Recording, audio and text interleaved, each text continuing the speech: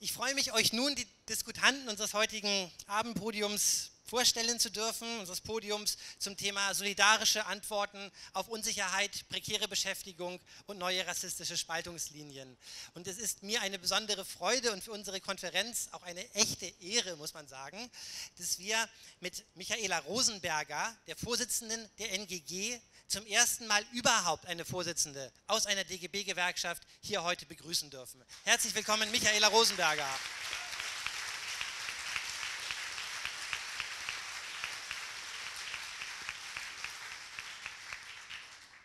Für Verdi hatte heute eigentlich Ute Kittel vom Verdi-Bundesvorstand mit uns diskutieren wollen. Sie musste sehr kurzfristig absagen wegen einer aktuellen Tarifauseinandersetzung im Wach- und Sicherheitsgewerbe. Wir bedauern Absagen immer, aber ich finde, der Grund wird hier auf dieser Streikkonferenz auf jeden Fall akzeptiert.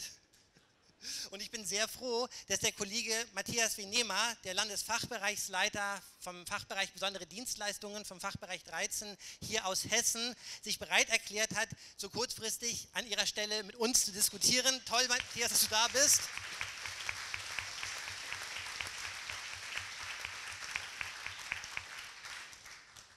Und ich begrüße Bernd Rixinger, den Parteivorsitzenden der Linken und ehemaligen Geschäftsführer von Verdi Stuttgart. Herzlich willkommen, Bernd Rixinger.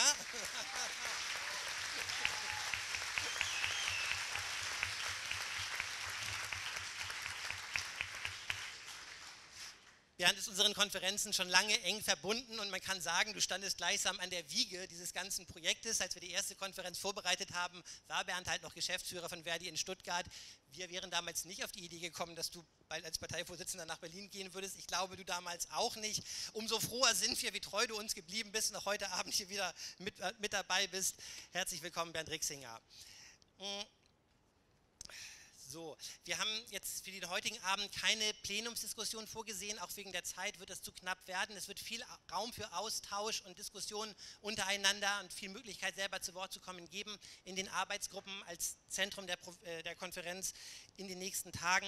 Ich glaube, heute Abend sozusagen, das schaffen wir schon alleine rein zeitlich nicht.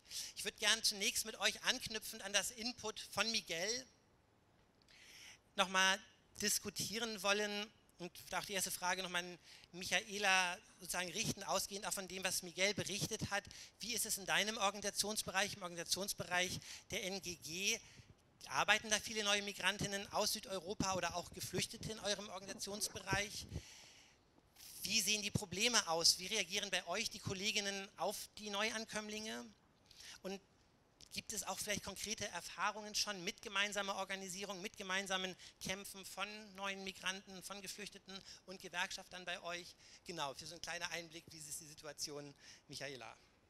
Ähm, ja, herzlichen Dank. Vielen Dank auch, dass ich äh, heute Abend hier auf dem Podium sitzen äh, darf. Die Freude ist nicht nur ganz meinerseits, sondern es ist mir auch eine Ehre, hier heute bei euch zu sein, dass ihr mich eingeladen habt. Vielen Dank dafür.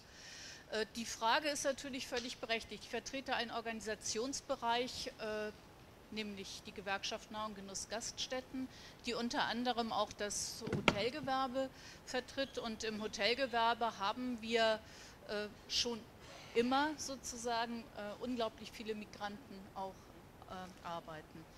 Deswegen ist das, was ich jetzt dazu sagen kann, auch sehr differenziert zu sehen. Zum einen sind wir und vor allen Dingen das Gastgewerbe äh, recht stolz darauf, immer wieder sagen zu können, äh, wie bunt, wie bunt diese Branche auch ist. Und deswegen ist es uns auch in der Vergangenheit immer mal wieder gelungen, gemeinsame Aktionen mit dieser Branche zu machen, die ja auch Touristen aus aller Welt willkommen heißen will.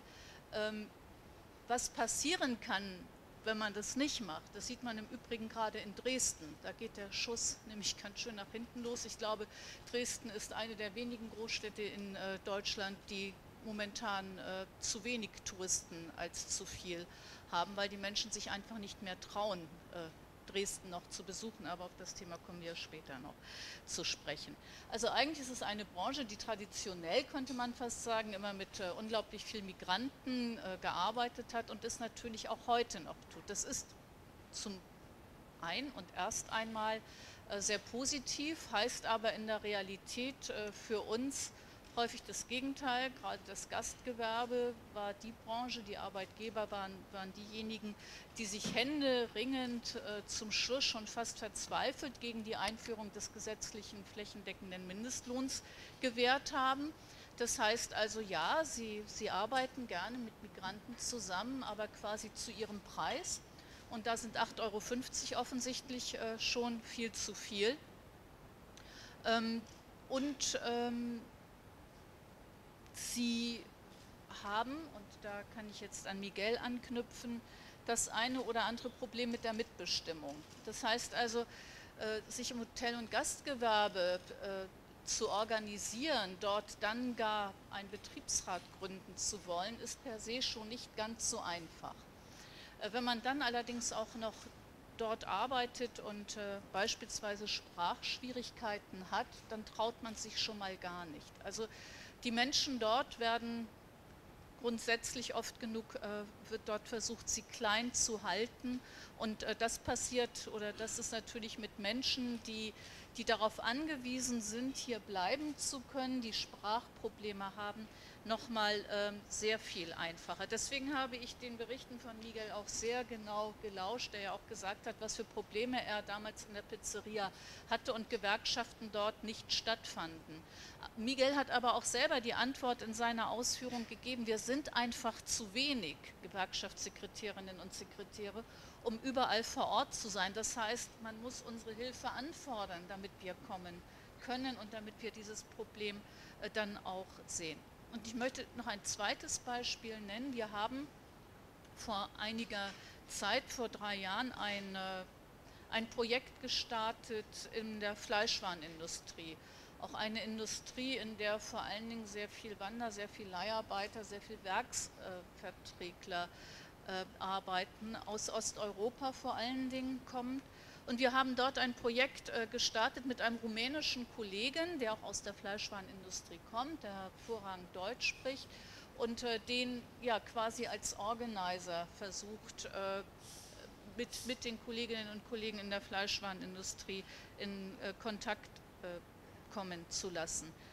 Dieses Projekt ist gescheitert und es ist deswegen gescheitert, weil es zwar erst Kontakt gegeben hat, aber immer wenn es darum ging, diesen Menschen zu helfen, wir jedes Mal äh, Dolmetscher brauchten. Ich weiß nicht, ob ihr wisst, was Dolmetscher kosten. Ähm, wir haben unheimlich hohe Dolmetscherkosten gehabt. Wir haben so gut wie keine Beiträge gesehen, bekommen. Klar, das sind, das sind äh, Leiharbeiter. Und äh, bevor wir auch überhaupt oder häufig genug bevor wir helfen konnten, waren die Kollegen auch gar nicht mehr greifbar. Für uns ein Riesenproblem, dass zumindest wir kleinen Gewerkschaften, da bin ich sicher, nur über den DGB, nur über einen Verband leisten können, indem wir gemeinsame Projekte daraus machen und nicht im Klein-Klein sind. Gemeinsame Projekte äh, dann haben auch wirklich Aussicht auf Erfolg und sind, äh, sind auch tatsächlich möglich. Äh, wenn wir also es wirklich schaffen wollen, an die Kolleginnen und Kollegen zu kommen, dann äh, müssen wir, das hat Miguel gesagt, äh, müssen wir investieren, da hat er auch recht, da müssen wir in Organizer, da müssen wir in Personal investieren, das müssen wir vor allen Dingen aber auch gewerkschaftsübergreifend machen. Das ist möglich.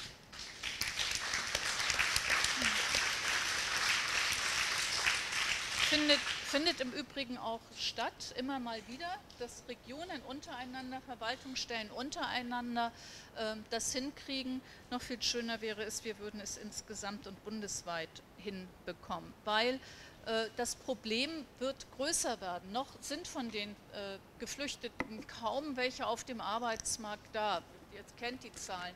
Die, äh, die, die großen äh, Bekundungen, die da gemacht worden sind, die sind ja kaum eingehalten worden. 54 Geflüchtete arbeiten, äh, jedenfalls sind das die Zahlen, die ich habe, äh, bei den DAX-Unternehmen. Also das ist, das ist für das, was versprochen wurde, ist das absolut nichts. Aber ich bin sicher, es wird, und das ist auch Hoffnung, das wird passieren, dass diese Menschen, dass diese Menschen dann tatsächlich auch in unseren Organisationen in den Betrieben zu, zu finden sind. Und äh, dann, wenn wir nicht wollen, dass sie einfach nur Spüler bleiben, in der Küchenhilfen bleiben, sondern dass sie tatsächlich in dieser Gesellschaft ankommen, dann brauchen sie unsere Unterstützung dafür. Und jetzt höre ich erst einmal auf.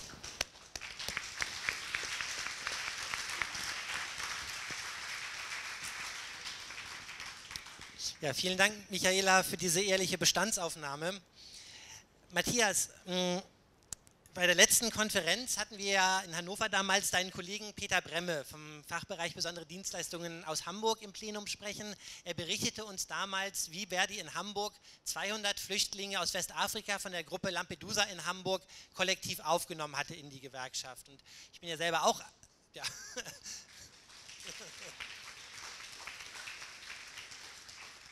Ich bin ja selbst auch alter Hamburger. Ich fand das wunderschön damals im Gewerkschaftshaus, ein Willkommensbarbecue von Verdi für die neuen Mitglieder oder auf den Demonstrationen die Kollegen aus Afrika mit den Verdi-Mützen und den Verdi-Fahnen enthusiastisch mit dabei.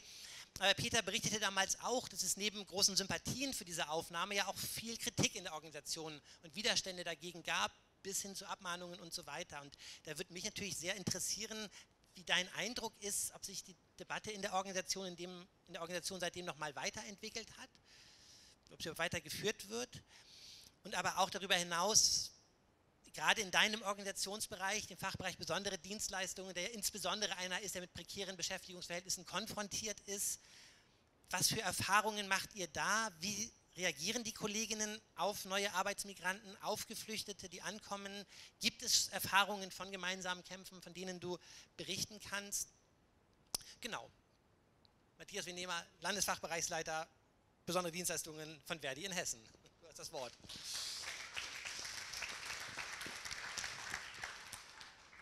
Ja, auch von mir nochmal vielen Dank für die Einladung. Ich freue mich hier auf dem Podium sitzen zu dürfen. Ute Kittel, wie gesagt, hat sehr kurzfristig absagen müssen, weil uns in dem Tarifstreit Bewachungsgewerbe irgendwie es gerade so droht, dass der Arbeitgeberverband sich auseinander zerlegt und äh, das für unsere Tarifverträge in einzelnen Bundesländern ziemlich harte Konsequenzen haben könnte. Deswegen hatte sie dort einen Termin und bittet euch äh, herzlich um Entschuldigung und äh, ich soll euch sehr herzlich grüßen alle. Ähm, ja, zum Thema. Ähm, Peter Peter ist ja mein Kollege als Landesfachbereichsleiter in ähm, Hamburg. Lampedusa damals, das war eine Hamburger Situation aus, der, äh, aus dem auch persönlichen Engagement von Peter eben auch heraus mit Lampedusa, mit den Flüchtlingen dort. Ähm, wir haben, es gab eine ziemlich heftige Diskussion in Verdi darum, ähm, mit Peter, ähm, damals vor zwei Jahren, äh, wir als Landesfachbereichsleiter haben uns damals sehr deutlich positioniert und haben Peter unterstützt in der ganzen äh, Situation, dass wir das gut fanden, was er dort gemacht hat. Ähm, nur eben, wie gesagt, vor dem Hintergrund, das war eine ziemlich speziell Hamburger Situation aus seinem Umfeld, wie das Ganze dann eben auch entsprechend gelaufen ist. Mir ist jetzt nichts bekannt, es gab vor längerer Zeit in München mal eine ähnliche Situation, da ging es aber eher um Wanderarbeiter. Ähm, da bei den Wanderarbeitern ist damals, äh, was du auch geschildert hast, ist genau das passiert auch, dass die Kollegen irgendwann auch nicht mehr auffindbar waren und mehr oder weniger äh, das allein daran auch ähm, gescheitert ist. Also lange Rede, kurzer Sinn, äh, das Thema ähm, hat sich im Prinzip nachdem das mit Lampedusa da in Hamburg war, eigentlich nicht mehr gestellt und ist im Moment auch, also zumindest so wie ich es jetzt in Verdi verfolge, eigentlich kein Diskussionsthema mehr. Also das ist jetzt mein aktueller Stand, auch im Fachbereich letztendlich ähm, nicht mehr und die Kollegen in Hamburg machen dort eine sehr gute Flüchtlingsarbeit, aber eben nicht vor diesem Hintergrund entsprechend. Zu der eigentlichen ähm, Frage mit der Organisation, du hast ja schon gesagt, Verdi-Organisationsbereich Gesundheitswesen, da kenne ich mich jetzt nicht so gut ähm, aus. Wir haben sicherlich auch noch Bereiche wie Spedition und Logistik, ne, Monika, wo äh, sehr viele Migranten dann auch äh, so als erstes dann auch unterkommen. Ähm, ich würde jetzt erstmal sowas auch zum Thema ähm, auch Bewachung, wo relativ viele Kolleginnen und Kollegen, ähm, die eben neu nach Deutschland kommen, auch unterkommen können. Ähm, Gerade auch Luftsicherheit, wo eben noch sehr viele Kolleginnen und Kollegen eingestellt werden. Und dort, ja, Sprachprobleme, ja, Vertrauensprobleme, aber es ist dann auch eine Sache, ähm, wir können sicherlich es nicht leisten, dass wir jetzt für jede Sprachgruppe einen Organizer letztendlich haben. Aber ähm, wir haben zumindest in den größeren Firmen entsprechende Vertrauensleute. Vertrauensleute aus aller Herren Länder, die entsprechend auch die Kollegen ansprechen, die mit den Kollegen reden, die dann im Zweifelsfall auch mal dolmetschen und die den Kollegen helfen. Ähm, das funktioniert sehr gut ähm, und wenn wir jetzt über den Flughafen gehen oder Guido sitzt ja auch hinten, wenn er durch die, in die Flüchtlingsunterkünfte eben auch entsprechend äh, geht, um dort eben die Kollegen zu besuchen, ähm, dann haben wir auch Kolleginnen und Kollegen, die, das, die eben uns auch helfen, uns übersetzen, uns eben auch bei Problemen helfen, damit wir die organisieren können. Und dann kann es eben auch, dann können auch Betriebsräte gewählt werden, dann können wir bei Rechtsproblemen helfen und dann können wir das Ganze auch machen. Es ist natürlich eine Kernearbeit und es ist klar, du hast es auch gesagt, Problematik, ähm, Vertrauen, Misstrauen in Gewerkschaften in anderen Ländern, in Osteuropa, in Südeuropa. Äh, das ist ein hartes Stück Arbeit, dieses Vertrauen zu gewinnen, aber es gelingt oft auch. Des Weiteren gemeinsame Kämpfe. Ähm, ja, also wenn wir Arbeitskämpfe führen, ähm, das sind, das sind alle Kolleginnen und Kollegen dabei. Und wenn wir eben äh, jetzt gerade im Bewachungsgewerbe einen Arbeitskampf führen, dann sind im Zweifelsfall ein Großteil der Kolleginnen und Kollegen, die dann eben draußen stehen, ähm, haben irgendeinen Migrationshintergrund, sind im Zweifelsfall auch noch äh, relativ äh, frisch dabei. Ich habe gerade eben auch mal, mal kurz überflogen, in unserer Tarifkommission Luftsicherheit sind zwei Drittel der Kolleginnen und Kollegen ähm, nicht deutscher Herkunft. Na? Also die entsprechend dort das machen und das geht von Pakistan über Westafrika, äh, Arabien ähm, bis äh, Russische Föderation. Na? Also da ist im Prinzip alles, alles drin äh, vertreten. Ähm, über dieses ganze Umfeld, über diese Sache, es funktioniert, aber es ist natürlich eine entsprechende Arbeit. Äh, dann eben auch, teilweise hat man dann natürlich auch entsprechende Konflikte die dann da sind, auf die man dann entsprechend eingehen sollte, muss. Und, äh, aber es funktioniert. Und ähm, das sind sicherlich auch Leuchttürme. Und ähm, jetzt, ähm, wir haben sicherlich genauso Bereiche wie jetzt äh, bei euch in der NGG im Gastgewerbe, wo wir letztendlich, wo du nicht reinkommst und wo du einfach auch das Problem hast, äh, Buden, die einfach zu sind, wo dich eben ein äh, Geschäftsführer jetzt, wo man einfach letztendlich da nicht reinkommt. Das muss man, das muss man dann einfach auch äh, äh, so feststellen. Und ähm, wenn wir denn die Möglichkeit haben, dort eine Tür zu öffnen und eben auch über Kolleginnen und Kollegen, dann werden wir da sicherlich auch, auch ähm, reingehen. Das andere äh, Thema, ja, die meisten Flüchtlinge, die jetzt im letzten Jahr nach Deutschland gekommen sind, sind auf dem Arbeitsmarkt letztendlich ja noch nicht angekommen. Ähm, es gibt so, ihr hattet eben die Zahl genannt mit den DAX 30 äh, Sachen, der TÜV in Hessen rühmt sich damit, dass er einen syrischen Flüchtling beschäftigt, ähm, der Aufzugskontrolleur äh, ist. Also solche Sachen gibt es, aber ich glaube, das ist jetzt noch keine Sache, was man jetzt groß verallgemeinern könnte. Danke, Matthias Wenehmer.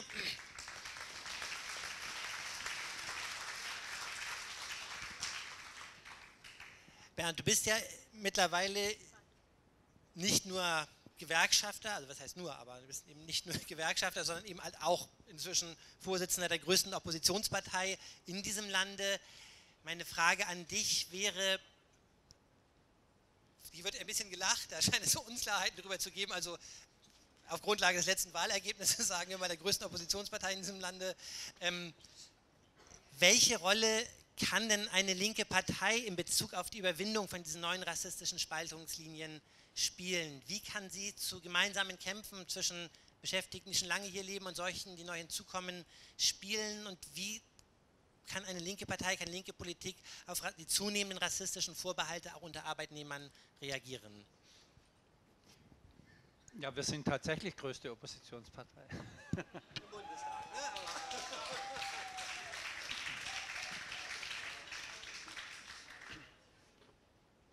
Ja, komplizierte Frage. keine einfachen Antworten, aber ich will noch ein bisschen grundsätzlicher werden. Ich glaube, dass wir tatsächlich diese Fragen, wie kriegen wir das hin, dass wir in einer Einwanderungsgesellschaft quasi eine Organisierung der ganzen Migranten erreichen und dass wir diese Spaltungslinien nicht vertiefen. Da kommt ein Riesenproblem auf uns zu. Wir kriegen praktisch jetzt rund 1 bis 1,5 Millionen Flüchtlinge, die mehr oder weniger in den Arbeitsmarkt integriert werden. Wir haben aber auch eine Riesenzuwanderung in den EU von den EU-Ländern, Spanien, Griechenland, und die treffen bei uns auf einen Arbeitsmarkt, der im hohen Maße fragmentiert und prekarisiert ist. Und es ist ja kein Geheimnis, dass das Kapital die Migration immer schon benutzen will und es benutzt hat, um quasi in, so, in diesen prekarisierten Verhältnissen mithilfe praktisch der Migration Dumpinglöhne und schlechtere Arbeitsbedingungen durchzusetzen und die Gruppen gegeneinander auszuspielen. Das ist nichts äh, Neues. Und äh, ich habe eine spanische Familie oder eine alleinerziehende Mutter, die bei uns im Haus wohnt. Nur als Beispiel, die ist gekommen, weil sie in Spanien keine Arbeit mehr gefunden hat. Und die hat jetzt den fünften oder sechsten Job. Zuerst war sie bei UPS, ganz schwere Arbeit. Es hat sich dann nach längeren Gesprächen herausgestellt, dass sie aber nicht bei UPS war, sondern eben bei einer äh, äh, Werkvertragsfirma von UPS, schlechter bezahlt, äh, schlechter entgolten und schlechter behandelt und kein Tarifvertrag. Dann kam sie irgendwann ganz stolz und sagt, sie wäre jetzt bei Lufthansa. Sag ich, ich glaube nicht, dass du bei Lufthansa bist. Doch, ich habe ein Schild, da steht Lufthansa drauf. Tatsächlich war sie nicht bei Lufthansa, sondern quasi bei einer Leiharbeitsfirma, die Lufthansa beschäftigt hat. Nach kürzester Zeit ist sie dort wieder weggegangen. Dann war sie im Ausfahren praktisch von Lebensmitteln für die älteren Leute. Auch quasi eine äh, äh, äh, Dumpinglohnfirma. Bis sie dann jetzt irgendwie bei ihrem ursprünglichen Beruf gelandet ist als Friseurin, wo sie quasi eigentlich einen 30-Stunden-Vertrag hat, aber 40 Stunden arbeiten musste, um für 30 Stunden bezahlt zu werden. Das ist ein Schicksal, das natürlich nicht nur die Migrantinnen und Migranten haben, ähm, aber völlig klar, alle, die hier reinkommen, werden maximal in diesen Arbeitsverhältnissen landen. Und äh, äh, dort benutzt, um quasi die sozialen und äh, äh, äh sonstigen Voraussetzungen noch weiter zu drücken. Und wir haben diesen Arbeitsmarkt sowieso, der hat sich verfestigt. Rund 25 bis 30 Prozent sind in prekäre Arbeitsverhältnisse abgedrängt in Deutschland und das ist irgendwie nicht Zufall, sondern das ist fester Bestandteil dieses industriellen Modells, dieses Dienstleistungsmodells, dieser Formation des Kapitalismus, dass sie maximal mit 60 Prozent Kernbeschäftigten arbeiten, der Rest sind quasi Leiharbeiter, Werkverträgler, äh, ähm, äh, Beschäftigte auf Abruf, Mini- und Midi-Jobs, befristete Arbeitsverhältnisse, Teilzeitarbeitsverhältnisse. Und das ist nicht mehr abhängig von der Konjunktur, sondern fester Bestandteil der Struktur. Das wird einkalkuliert. Wenn die Konjunktur schlechter wird, wird es höchstens noch schlechter. Also ich war vor kurzem in den USA, dort ist die Prekarisierungsquote 40 Prozent. Bei uns ist sie 25 bis 30 äh, Prozent. Ich bin absolut überzeugt, wenn es da keine Gegenstrategien gibt, wird äh, quasi diese, diese Struktur noch viel mehr verfestigt und wird noch mehr Bestandteil und die ganzen Migranten landen genau in dieser Struktur. Es gibt natürlich, und wir müssen wissen, dass diese Struktur auch politisch gewollt war. Also die ganzen Agenda-Gesetze, die ganze äh, Deregulierung des Arbeitsmarktes war, hatte kein anderes Ziel, als einen breiten Niedriglohnsektor durchzusetzen. Und genau diese Deregulierung, die quasi in der kapitalistischen Entwicklung angelegt war, äh, politisch zu untermauern und äh, zu erleichtern. Das müssen wir wissen. Das wird nicht von alleine wieder äh, beiseite äh, geschafft, sondern das, muss ganz, äh, das ist eine ganz strukturelle Sache und die muss auch ganz grundsätzlich ähm, äh, bekämpft werden. Und ich glaube, es gibt äh, neben vielen negativen Zügen der Gewerkschaftsbewegung gibt es auch einen guten, der quasi nach dem Grundsatz, ja, es gibt mehrere Grundsätze. Der eine ist, dass durchaus in dieser prekarisierten Struktur Menschen, die in Kernbelegschaften sind, sich nach unten abgrenzen. Also es gibt eine Mitten-Unten-Abgrenzung, das ist, glaube ich, die rechte Lösung. Der gleiche Mechanismus, wie sich Kernarbeiter von den prekären oder von den Leiharbeitern abgrenzen, um die eigene Position äh, äh, äh, sagen wir mal, erhalten zu können. Das machen ja auch Betriebsräte mit, da darf man sich ja nicht drüber hinweg äh, täuschen. Das hat das System. Ähm, der gleiche Mechanismus funktioniert natürlich auch gegenüber den Flüchtlingen. Also Abgrenzung nach unten ist die gleiche Lösung wie Abgrenzung nach außen. Das müssen wir wissen. Es gibt aber natürlich auch eine solidarische Lösung, dass man sagt, die Prekären und die Kernbelegschaften verbünden sich, weil sie eigentlich gleiche Interessen haben, gegen die da oben. Und es gibt durchaus in der Gewerkschaftsgeschichte immer viele Beispiele, wo die Gewerkschaften gesagt haben, in dem Augenblick, wo das Kolleginnen und Kollegen von uns sind, sind die keine Schutzsuchenden mehr oder nicht mehr Leuten, denen man helfen muss, sondern das sind Beschäftigte, die gehören zur Arbeiterklasse und die müssen wir organisieren und müssen gemeinsam mit den Kolleginnen, die schon in Deutschland arbeiten, ihre Interessen organisiert gegenüber der Kapitalseite vertreten. Ich glaube, das ist äh, quasi der Ansatz.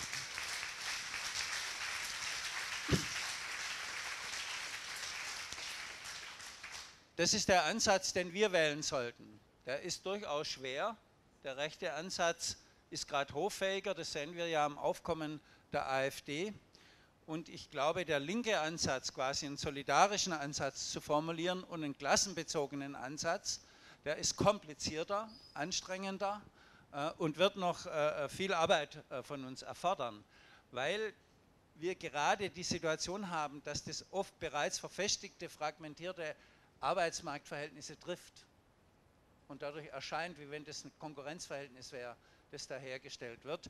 Ich glaube aber, dass das beste Mittel, ich hoffe, ich habe noch Zeit, das nachher in der zweiten Runde ein bisschen auszuführen, wie das konkret aussehen kann und was auch meine Erfahrungen sind, dass natürlich der beste Ansatz ist, gemeinsame Organisierung und gemeinsame Kämpfe. Und ich habe natürlich viele Streiks mitorganisiert bei HM, äh, auch im Sicherheitsgewerbe, äh, im Krankenhaus, wo überall sehr viele Migrantinnen in erster Linie arbeiten.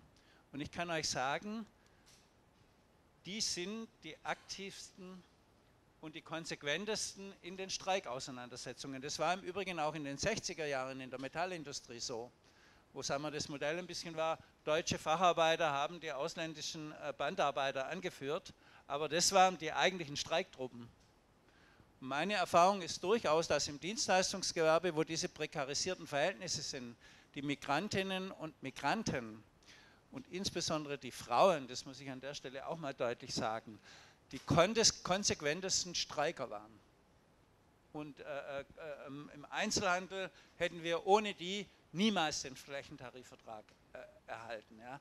Und die hatten ein, ein, ein, ein, Verhältnis, das durchaus von dem viele deutsche Kolleginnen und Kollegen noch ein bisschen was lernen können und das wir bestärken sollen. Die haben immer gesagt, ich verkaufe meine Arbeitskraft, aber ich verkaufe mich nicht mit Haut und Haaren.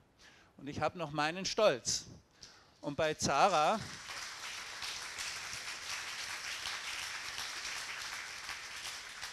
bei Sarah war ein streikauslösender Faktor, weil Sarah vorschreiben wollte, welche Ohrringe die tragen sollten. Und da haben die gesagt, die Deutschen hätten sich, glaube ich, schon daran gewöhnt, aber die haben, gerade die Migrantinnen haben gesagt, nein, das lassen wir uns nicht gefallen, über unsere Ohren bestimmen wir selber.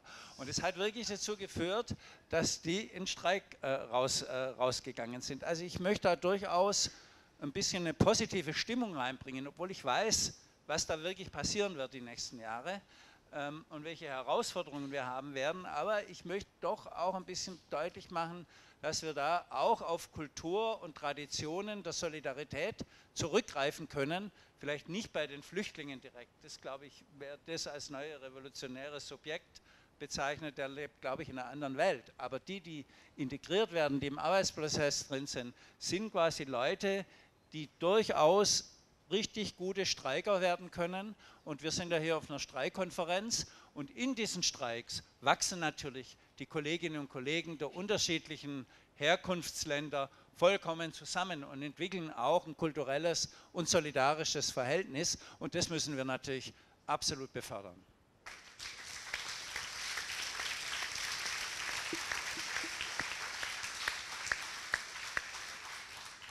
Ja, danke Bernd. Bevor wir gleich uns noch mal dem richtig dicken Brett der schwierigen Frage widmen wollen, des Aufstieges der AfD und des Umgangs damit. Kurz noch mal etwas Erfreulicheres. Ich möchte noch mal zwei Kollegen begrüßen, die zwischenzeitlich hier reingekommen sind, die euch noch mal vorstellen, kurz und zeigen. Das eine ist der Kollege André Hämmerle. Vielleicht kannst du einmal kurz aufstehen, André, von der CGT aus Frankreich.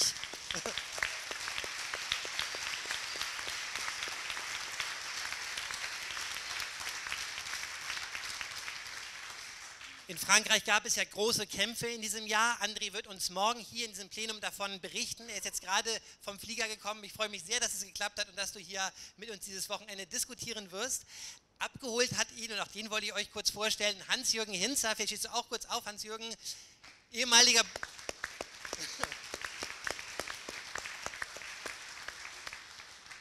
Hans-Jürgen ist ehemaliger Bundesstreikbeauftragter der NGG. Ich glaube, du hast in deinem Leben 164 Streiks betreut und mit durchgeführt. 164. Hans-Jürgen ist ein Urgestein der Frankfurter Gewerkschaftsbewegung. Wir freuen uns sehr, dass du hier heute auf dieser Konferenz mit dabei bist.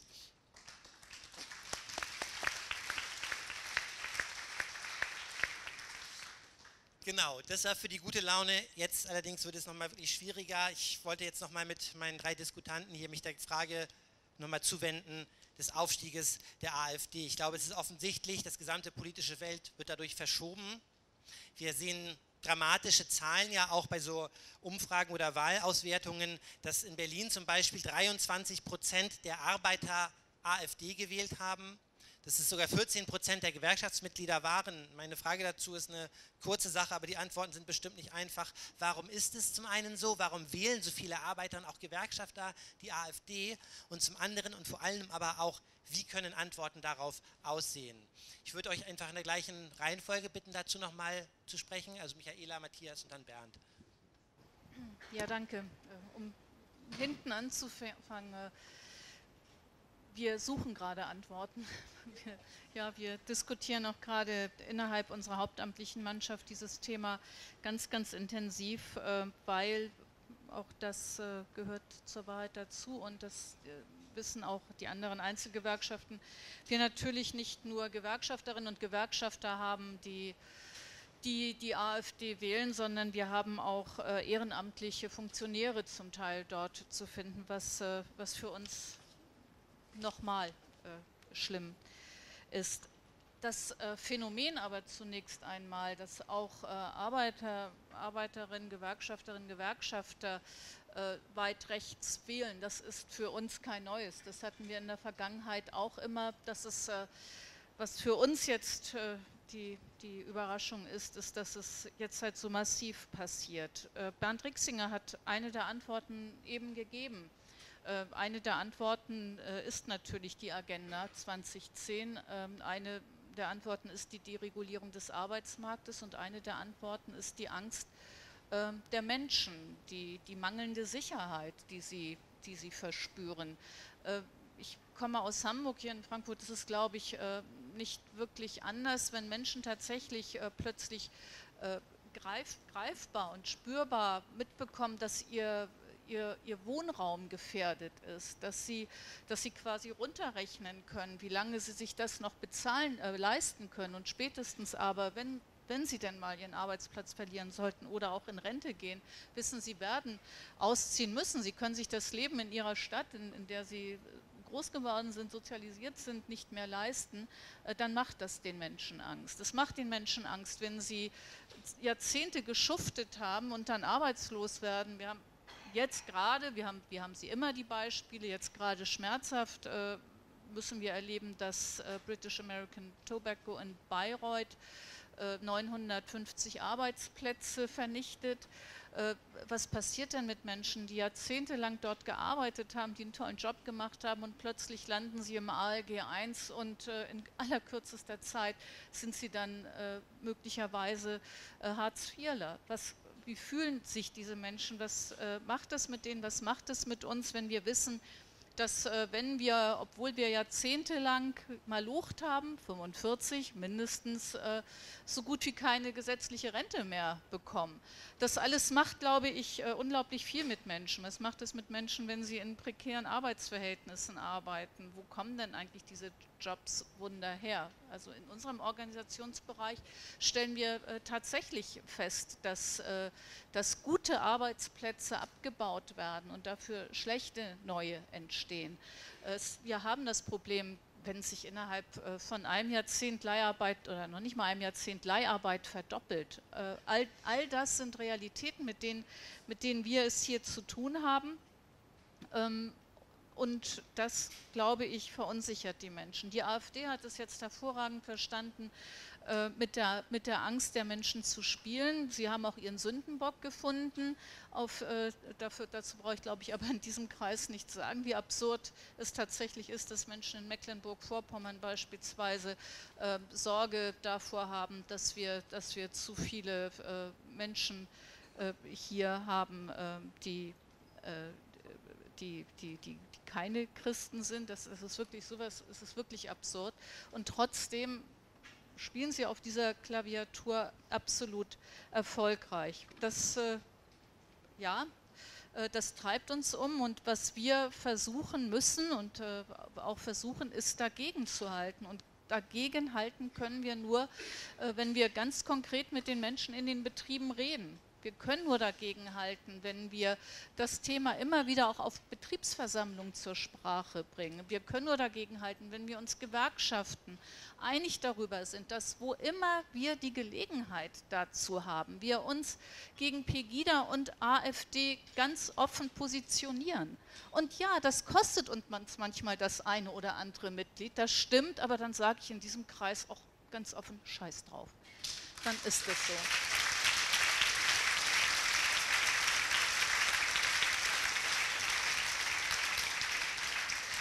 Und äh, damit wir das nicht unvorbereitet machen, äh, ist es tatsächlich so, dass wir ganz viele Materialien in der Vergangenheit entwickelt haben, damit wir auch wirklich in die Diskussion mit den Kolleginnen und Kollegen treten können. Äh, wir erleben es, dass auf Betriebsversammlungen, wenn wir, dieses, wenn wir dieses Thema ansprechen, Menschen aufstehen und gehen. Die werden wir auch nicht erreichen, aber ich glaube, es gibt viele, die können wir erreichen. Und äh, das werden wir natürlich oder wir werden uns das Leben als Gewerkschaften auch schwerer machen, äh, wenn wir die Agenda 2010-Fahne hochtragen. Auch das kann es nicht sein. Wir müssen die Sorgen ernst nehmen. Und äh, uns zu sagen, dass das war äh, eine der wichtigsten Reformen und äh, auch schön Europa ist sozusagen neidisch auf unsere Agenda 2010. Da, und, und dann anzugucken, du hast es gesagt, hast, ihr habt es gesagt, äh, was, was in Europa derzeit seit der Bankenkrise passiert ist, äh, wie die Rechte von Arbeitnehmerinnen und Arbeitnehmern zusammengeschnitten worden sind und von Gewerkschaften. Wir kommen auch auf das Thema noch, dass wir kaum mehr äh, Flächentarifverträge haben, dass nicht nur bei uns, sondern in ganz Europa plötzlich auch die Mittelschicht betroffen ist. Äh, dann so darauf zu reagieren, äh, dass, da, da, da, kann man eigentlich nur noch äh, sprachlos sein, da fällt einem nichts mehr ein. Also, was wir aber tun, wir, wir halten dagegen, wir sprechen, wir diskutieren mit den Menschen und wir hoffen nicht nur, sondern wir sind uns ganz sicher, dass wir an der einen oder anderen Stelle die Menschen mit den Gesprächen, mit Diskussionen abholen und äh, ja, und uns äh, ganz klar auch äh, gegen all das positionieren, was diese Menschen, ich habe es eben gesagt, in diese Sorgen auch gestürzt hat.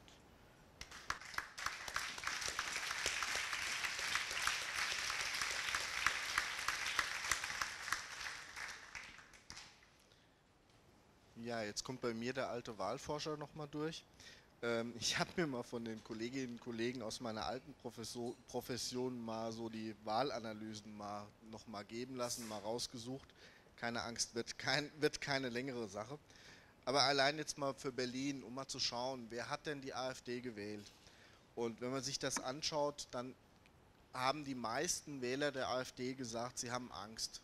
Sie haben Angst vor der Zukunft und eine Angst vor dem Abstieg, vor dem sozialen Abstieg.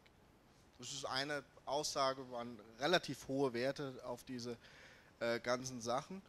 Ähm, dazu, wenn man sich dann anschaut, wo kommen denn die Wähler der AfD her? Ähm, ihr habt vielleicht verfolgt bei den letzten Wahlen, die Wahlbeteiligung ist sehr deutlich angestiegen. Davon hat hauptsächlich die AfD profitiert. Das heißt, die AfD hat Wähler organisiert, die die ganze Zeit ähm, nicht gewählt haben, keine Partei gefunden haben, gesagt haben, sie gehen nicht wählen, sie wollen, machen es einfach nicht. Und sie haben von allen anderen Parteien dazu gewonnen.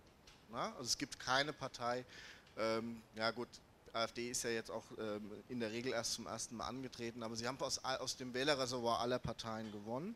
Und wenn man sich dann nochmal äh, Wahlmotive anschaut, dann war jetzt für Berlin, für die Abgeordnetenhauswahl, hat man nochmal gesehen, dass die Enttäuschung über andere Parteien, das haben 69 Prozent der AfD-Wähler angegeben. So. Auch die Wahlentscheidung, oft hat man ja sowas, dass äh, Protestwahl relativ kurzfristig, teilweise erst am Wahltag oder in der Wahlkabine festgelegt wird.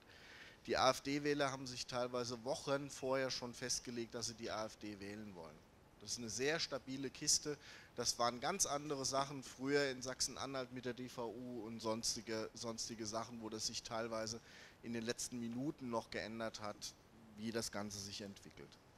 Das einfach mal so zum, zum, zum Hintergrund. Dann auch, ja, Gewerkschaftsmitglieder wählen, auch AfD, es ist leider so. Ähm, ein bisschen auch diese Kiste alte Milieubindung, wobei jetzt glaube Berlin auch nicht so das super Beispiel ist für ein Arbeitermilieu, wenn man sich das jetzt so anguckt, wie Berlin ähm, deindustrialisiert mehr oder weniger auch dasteht. Äh, Milieubindungen lassen einfach auch nach. Das jetzt mal so ganz kurz im Groben für den, für den äh, Hintergrund. Du bist ja auch darauf eingegangen, welche Antworten äh, könnten wir haben. Ich möchte jetzt einfach auch mal darauf eingehen, was können wir als Gewerkschaften machen. Und ähm, da fällt mir einfach auch ein, dass wir vielleicht in den letzten Jahren so Dinge wie gewerkschaftliche und politische Bildung vielleicht einfach auch deutlich vernachlässigt haben. Als Gewerkschaften, egal welche.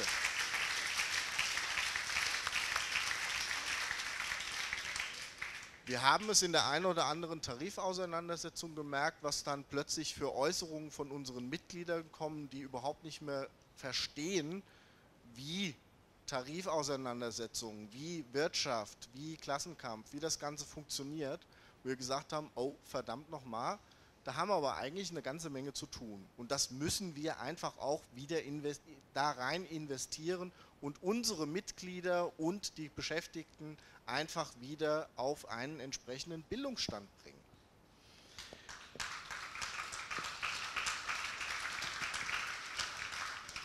Und Ziel, die Ängste sind da. Und ich meine, Ängste, ähm, jemandem zu sagen, du darfst jetzt keine Angst haben und du hast jetzt keine Angst, wird sicherlich nicht funktionieren.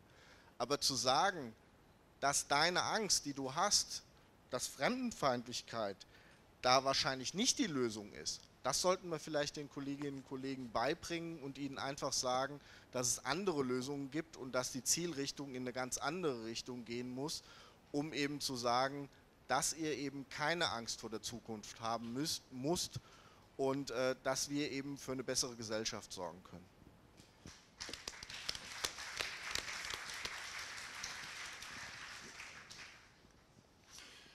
Ja, also in, in den Linken haben wir wirklich ja auch eine spannende und kontroverse Diskussion, wie wir damit umgehen, wie man ja auch öffentlich durchaus äh, vernehmen kann. Also auf der politischen Ebene würde ich mal sagen, gibt es ja den Rechtspopulismus und die äh, rechten Kräfte als große Parteien schon länger. Man kann zumindest sagen, dass man drei Sachen nicht machen darf. Das erste ist, du darfst sie nicht verschweigen. Das hat nirgendwo dazu geführt, dass sie nicht stärker werden. Das Zweite ist, du darfst auf keinen Fall Positionen von ihnen übernehmen. Ähm,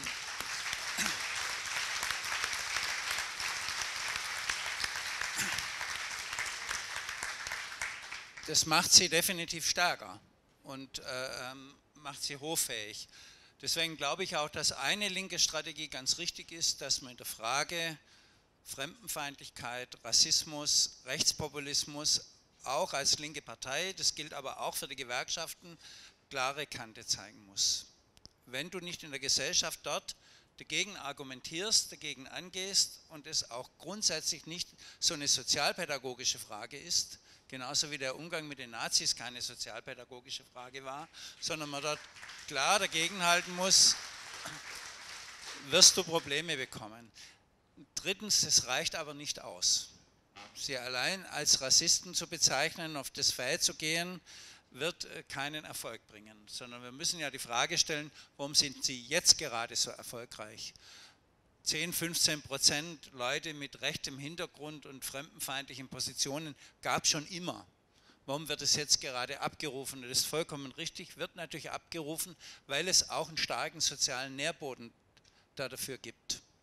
Das ist das, was ich gerade äh, ein bisschen auch beschrieben habe, diese ganze Fragmentierung. Und deswegen muss man natürlich diesen sozialen Nährboden angehen. Ich muss die sozialen Ursachen äh, für die Ängste und für die äh, Loslösung auch quasi dieser zum Teil dumpfen Gefühle und dumpfen Ansichten, die muss ich natürlich mit angehen.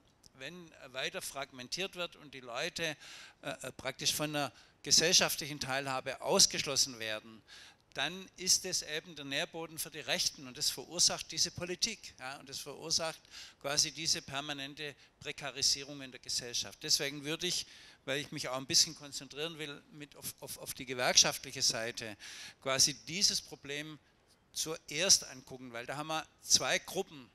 Das eine sind doch die, die ganz unten sind. Wobei man nicht denken darf, das stimmt einfach nicht mit allen Untersuchungen überein. Es sind nicht die unteren, die quasi überdurchschnittlich äh, rechts wählen oder die überdurchschnittlich äh, äh, für Rassismus anfällig sind. Es sind alle Schichten, muss man deutlich machen und im Kern auch alle Klassen. Ja. Und äh, äh, ähm, deswegen, sagen wir mal, da bloß zu sagen, weil es denen so schlecht geht, sind die dafür anfällig, denen, denen es gut geht, sind genauso anfällig. Aber trotzdem hast du in diesem Bereich Erwerbslose, Prekäre, die quasi in einer Gesellschaft leben, wo sie unten nicht mehr rauskommen. Sie können machen, was sie wollen, sie können noch so viel arbeiten, sie können sich überall anbieten, sie können sich anstrengen, wie sie wollen. Sie kommen nicht aus ihrer sozialen Situation raus, weil sich die verfestigt hat. Es gibt da kaum noch Durchlässigkeit. Und das sind viele Leute drum, die aus Verzweiflung rechts wählen, um den anderen zu sagen, so kann es auf keinen Fall weitergehen. Und du hast eine zweite Gruppe, die habe ich auch beschrieben, das sind die Kernbereiche. Darf man nicht unterschätzen. Klaus Dörre, ich zitiere dieses Beispiel immer, hat in einer größeren Automobilfirma in Baden-Württemberg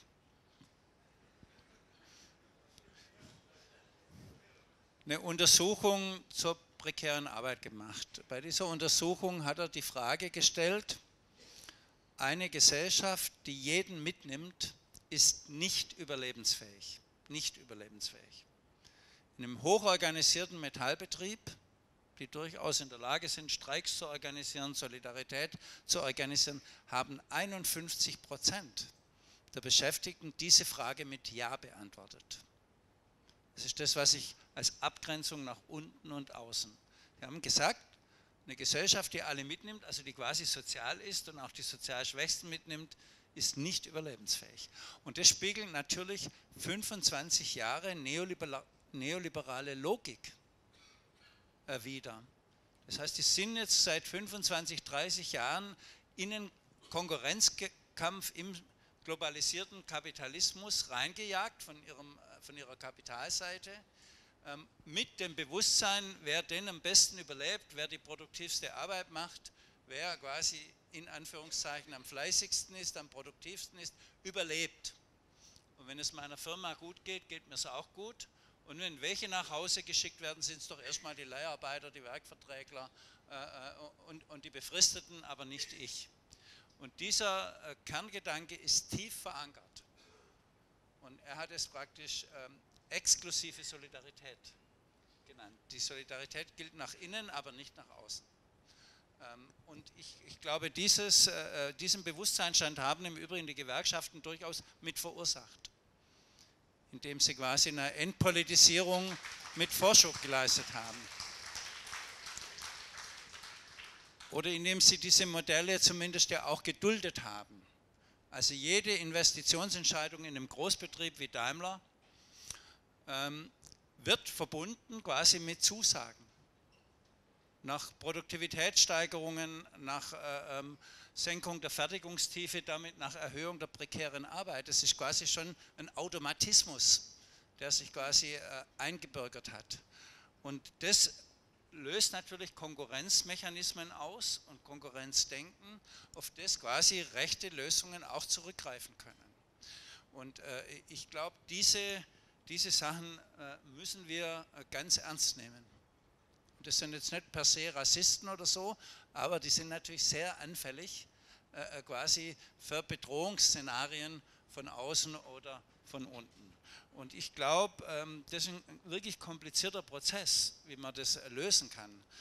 Aber, und das löst man auch nicht nur mit Aufklärung, sondern es muss in den Gewerkschaften und auch linken Parteien einen klaren Standpunkt geben, dass wir die, ich habe ja gesagt beide, die unten vertreten. Alle, die irgendwie sagen, die geben wir auf, weil die rechts wählen, ist völlig irrsinnig.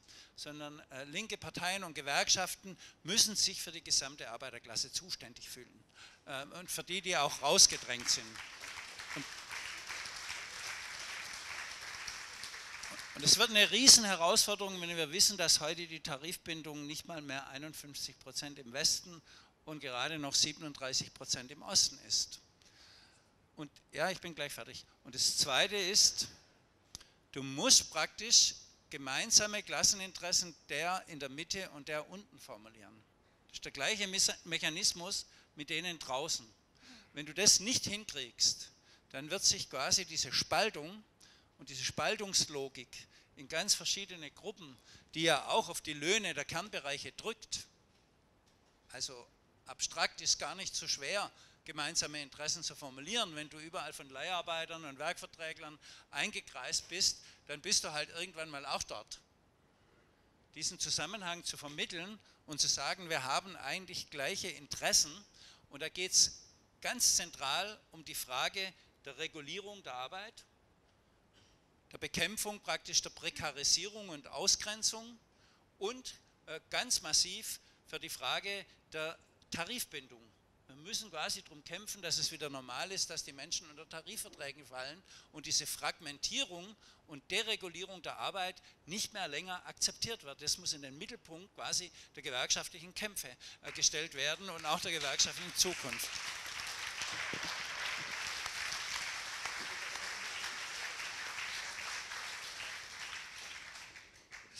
Ja, super. Bevor ich dem Podium noch eine letzte Frage für den heutigen Abend stelle, würde ich doch mal den Kollegen Mario Wolf von der IG Metall bitten, kurz nach vorne zu kommen. Die Kollegen haben nämlich eine konkrete antirassistische Aktion für diese Konferenz hier vorbereitet. Ich weiß gar nicht ganz genau, wie sie aussehen soll, aber der Mario kommt extra nach vorne, um das uns zu erzählen.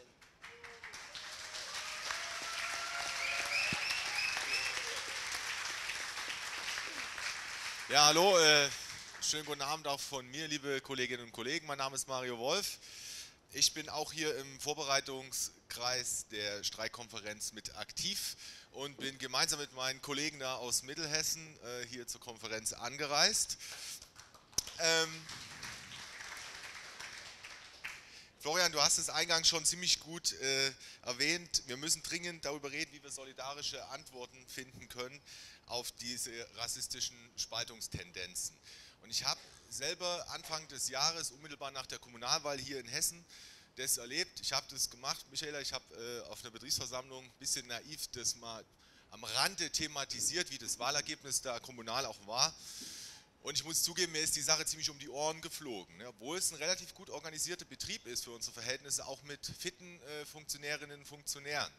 Aber die Reaktion, die aus dem Plenum zurückkam, hat dann alle überrascht. So, ein Fünftel der Kolleginnen und Kollegen haben offen äh, bemängelt, dass Parteiwerbung gemacht wird und sich klar ist, äh, AfD-Sympathisanten und Sympathisanten geoutet, meiner Meinung nach.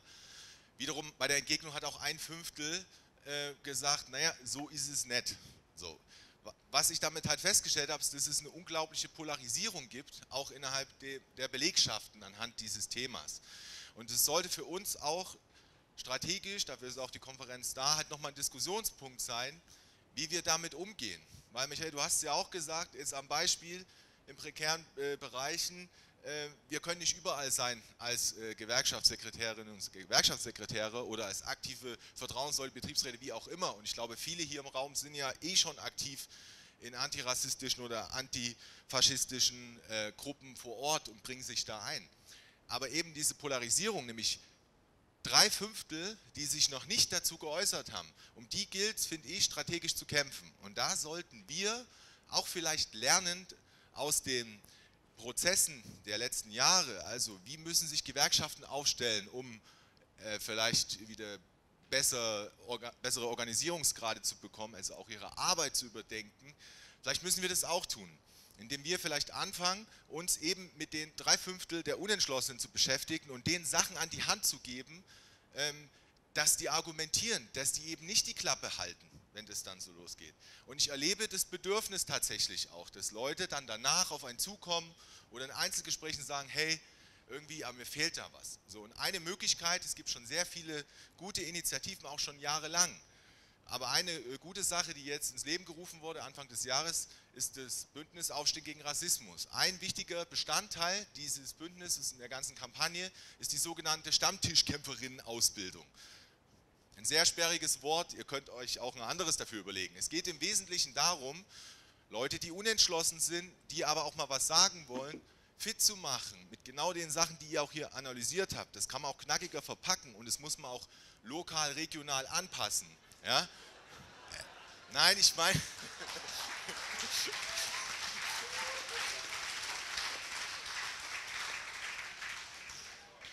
Ja, man hat ja nicht immer Zeit, so lange zu reden.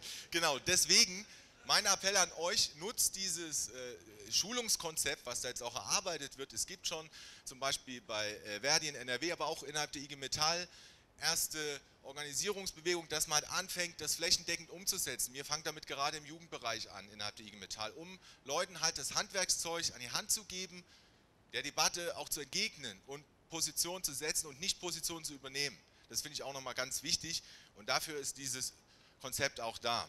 Das mal am Rande. Was haben wir jetzt hier? Wir haben jetzt hier eine Konferenz zum Austausch, zum Vernetzen. Wir wollen äh, diskutieren. Wir wollen aber auch, das hatten wir im Vorbereitungskreis besprochen, auch ein bisschen ein Bild nach außen vermitteln, dass dieses Thema ja einfach nicht nur inhaltlich wichtig ist, sondern auch von der Aktion her. Deswegen äh, werden wir, haben wir vor, wir laden euch ein, versuchen euch dafür zu gewinnen, am Stand von Aufstehen gegen Rassismus in der neuen Mensa, wo ihr auch Materialien dazu findet, findet ihr auch A2-Blätter. Ich war vorhin noch mit Jeffrey Rafferty einkaufen, ja, große Plakate. Da könnt ihr mit Eddings eure Botschaften draufschreiben, regional, wie auch immer. Und wir wollen am Sonntag, wenn hier nochmal das Abschlussplenum stattfindet, gemeinsam hier ein schönes Bild erzeugen nach außen, was wir auch teilen können und ein klares Signal nach außen setzen, dass diese Konferenz ganz klar Position bezieht. Deswegen hoffe ich, ihr seid dabei, schaut einfach mal die nächsten Tage in der neuen Mensa unten vorbei, macht euer Schildchen, vielleicht auch für euren Betrieb, wie auch immer, haltet es dann hier mit hoch am Sonntag. Ich hoffe, ihr seid dabei. Dann Gemeinsam gewinnen, Solidarität statt Ausgrenzung. Schönen Abend noch.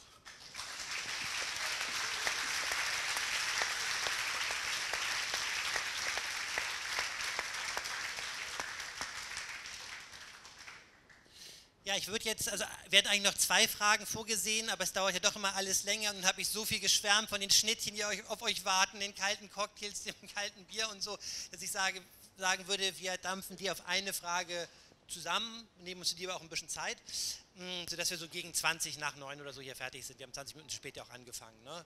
Na? Kriegen wir hin, ne? Kriegen wir hin. Ich würde sozusagen zum Schluss nochmal mit euch den Blick so ein bisschen nach vorne richten wollen, nachdem wir jetzt ja viel Analyse des Ist-Zustandes gemacht haben, eine Ursachendiagnose zum Aufstieg der AfD, nochmal den Blick nach vorne richtend.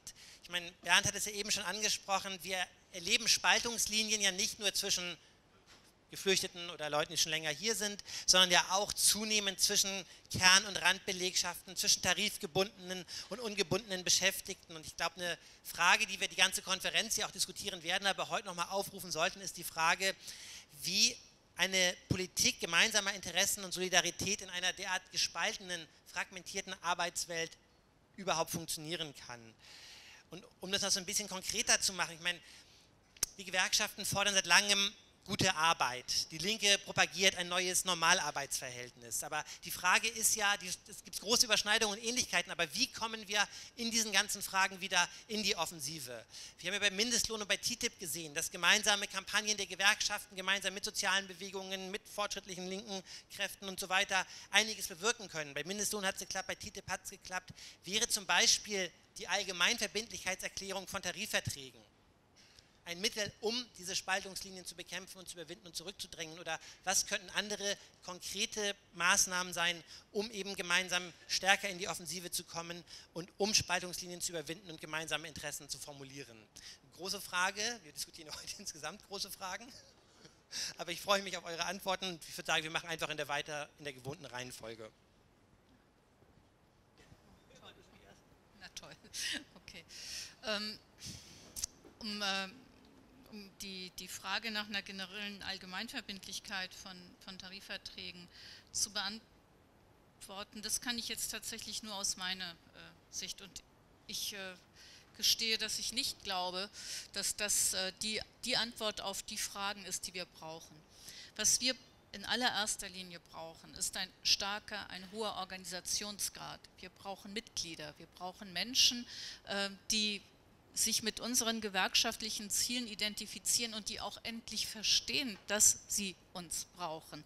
Das erreichen wir nicht durch äh, den von dir eben genannten Schritt, dass wir Allgemeinverbindlichkeitserklärung äh, dann äh, quasi per Gesetz haben. Ganz im Gegenteil, ich glaube, das würde eher dazu führen, äh, führen dass die Leute sich noch weniger verantwortlich fühlen äh, für, für ihre Arbeitsbedingungen. Und wir sind für unsere Arbeitsbedingungen natürlich auch ein Stückchen weit mitverantwortlich, wenn wir denn auch etwas, wenn wir denn noch etwas ändern wollen. Ähm, ja, du hast es eben geschildert. Wir haben das große Problem, dass immer weniger Betriebe überhaupt noch tarifgebunden sind das haben wir Gewerkschaften insgesamt. Das hat auch die große IG Metall und das haben Verdi und, und wir äh, noch, noch stärker mit, mit unseren kleinen und kleinsteiligen äh, äh, Betrieben. Die Arbeitgeber schleichen sich, stehen sich immer mehr aus der Verantwortung und äh, Verdi macht gerade ja das spannende Projekt, äh, Betriebe wieder in die Tarifbindung zurückzuholen, auch mit äh, viel Öffentlichkeitsarbeit.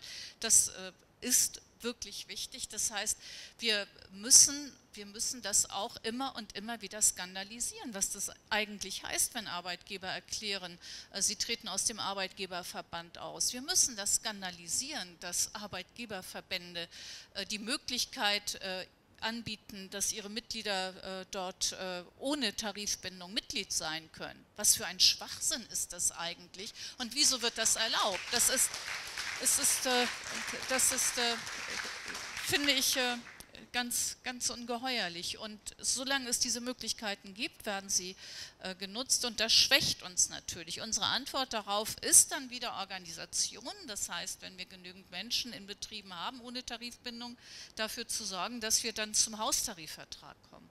Wir brauchen aber eigentlich den starken Flächentarifvertrag weil dann sind wir wieder bei der Frage der, der Solidarität auch untereinander und miteinander. Das, das ist unsere Stärke auch gegenüber Arbeitgebern. Das macht uns selber auch stark. Ich glaube also nochmal, wir werden das Ziel der, der Allgemeinverbindlichkeit äh, quasi per Gesetz, das ist ja, glaube ich, das, was du eben gesagt hast, wird uns nicht weiterhelfen. Äh, wir haben die Möglichkeit heute schon äh, zu versuchen, äh, Tarifverträge allgemeinverbindlich erklären zu lassen. Gelingt nicht immer, gelingt aber, hat gerade in der Frage der betrieblichen Altersversorgung äh, hin und wieder äh, tatsächlich auch geklappt. Äh, das ist auch an der einen oder anderen Stelle auch wichtig. Ich gebe auch zu, wir würden äh, sicherlich äh, es auch begrüßen, wenn an der einen oder anderen Stelle äh, unserem Begehren, unseren ähm, Ansinnen äh, dann auch Rechnung getragen würde für die Allgemeinverbindlichkeitserklärung. Nur die Antwort äh, glaube ich, auf diese Frage ist tatsächlich eine ganz andere, nämlich dass wir uns solidarisieren äh, über, äh, über Gewerkschaftsmitgliedschaft. Und der Mindestlohn, die Kampagne Mindestlohn äh, war deswegen so erfolgreich, weil wir sie innerhalb der Einzelgewerkschaften gemeinsam gefahren sind. Sie wurde im Übrigen auch dann erst erfolgreich, als es uns gelungen ist, im DGB tatsächlich Einigkeit darüber herzustellen, dass wir alle finden, dass der Mindestlohn wichtig ist. Dann wurde sie tatsächlich erfolgreich und das Ergebnis äh, haben wir jetzt, äh, das haben wir jetzt ja auch endlich. Das werden wir, um da auch ein bisschen Wasser in den Wein zu schütten. Das werden wir bei der Frage Allgemeinverbindlichkeitserklärung, und da bin ich mir ganz sicher, nicht schaffen, egal wie viele Jahre wir dafür auch kämpfen würden.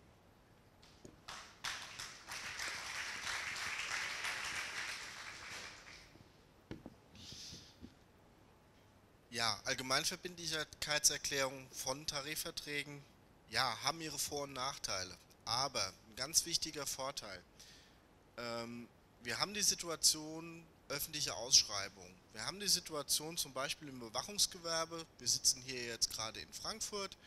Ähm, die Stadt Frankfurt hat regelmäßig bei der Bewachung der Museen, und das sind in Frankfurt ja ist das ein, durchaus ein Wirtschaftsfaktor, da sind mehrere hundert Kolleginnen und Kollegen in der Bewachung eingesetzt.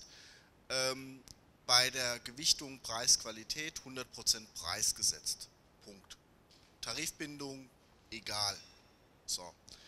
Jetzt haben wir da einen allgemeinverbindlichen Tarifvertrag, ja, aber nur für die Löhne, Löhne und Gehälter und nicht für die Zuschläge. Das heißt also, Firmen, die entsprechend über Verbandsmitgliedschaft tarifgebunden sind, haben, hatten fast keine Chance, solche Aufträge zu kriegen. Und das ist jetzt nur mal ein Beispiel. Wir hatten hier im DGB-Haus Anfang des Jahres auch mal eine Diskussion mit dem zuständigen äh, Dezernenten in der, bei der Stadt Frankfurt. Äh, der wurde etwas kleiner dann bei der ganzen Sache, aber wirklich geändert hat er dann auch nichts daran. Na, also das sind einfach Dinge, wo eine Allgemeinverbindlichkeit, wo wir auch sagen würden, am liebsten auch noch eine Allgemeinverbindlichkeit von Zuschlägen, Sonnen-, Feiertags-, Nachtzuschläge, damit da im Prinzip klar ist, dass keiner auf den Kosten der Kolleginnen und Kollegen äh, sich in einen Auftrag reindampen kann.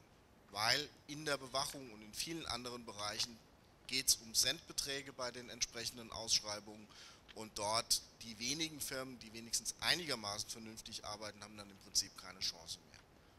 Das also einmal pro ähm, ähm, Allgemeinverbindlichkeit die ganze Sache und wir können eben Arbeitsbedingungen über dem Mindestlohn darüber absichern. Wir sind jetzt in Hessen im Bewachungsgewerbe, ist immer noch viel zu wenig, aber eben auch jetzt bei 9 Euro in der niedrigsten Lohngruppe.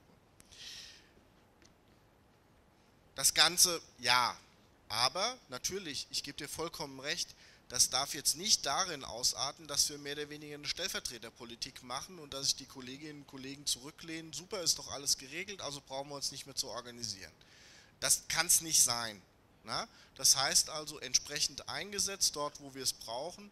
Und wir, es gibt sicherlich eine ganze Menge Bereiche, wo man sagen kann, ähm, wenn ihr euch nicht organisiert, dann werden wir auch nicht dafür sorgen, dass ihr über eine Allgemeinverbindlichkeit ihr äh, gute Arbeitsbedingungen quasi geschenkt bekommt. Nein, ihr müsst euch selbst organisieren, ihr müsst sie euch erkämpfen und wir müssen es entsprechend durchsetzen. Also das dazu zweischneidiges Schwert, ähm, prinzipiell äh, gerade jetzt, ich glaube, wir haben es jetzt mal festgestellt, mein Fachbereich in Hessen stellt zusammen mit äh, Peter Martin wahrscheinlich die Masse der Anträge an auf Allgemeinverbindlichkeit in Hessen und ich denke mal, das wird auch in Zukunft so bleiben. Vielen Dank.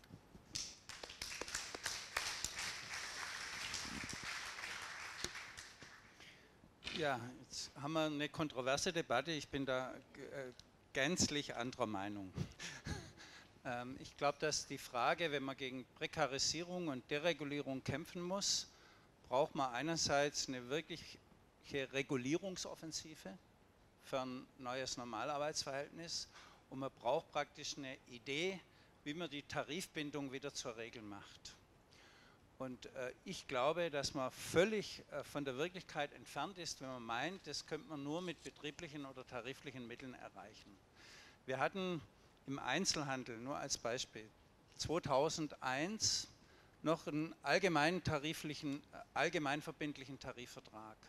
Die Tarifbindungsquote war bei 91 Prozent.